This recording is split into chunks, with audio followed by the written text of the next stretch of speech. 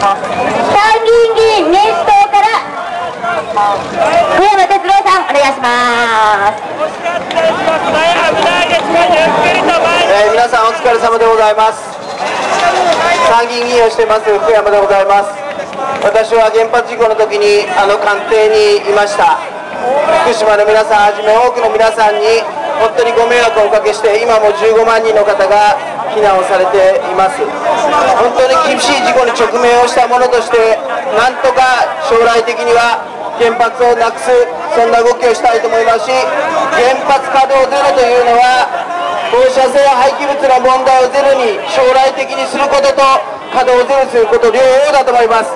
現実的にとにかく皆さんの声を受け止めてしっかりやっていきたいと思います。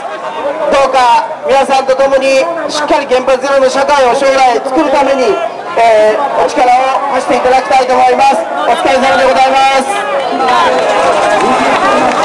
はい、ありがとうございました。えー、そうしましたら、えー、協力、協力団体の、えー、挨拶ということで、えー、福山さんお願いいたします。亀田さん。あ、鎌田さん。鎌田さん、鎌田さん、鎌田先生じゃないですか。鎌田先生お願いします。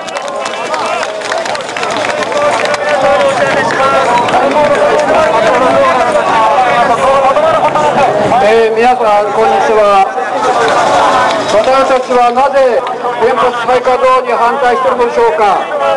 これは福島の悲劇をもう絶対繰り返さないということです。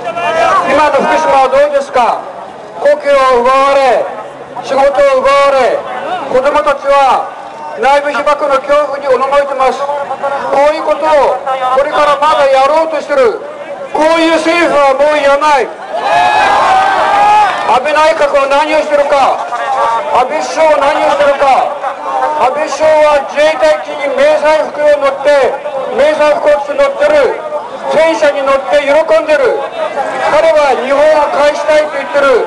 返したい日本と何か軍国日本じゃないか。軍国日本に原発がある。これはどういうことを意味するか。原発は最初に工場がある。高速増殖炉がある。ウラン濃縮工場がある。これは核武装の基盤です。自民党政府は核武装するための原発再稼働を狙ってる。再稼働は意味全く意味がない。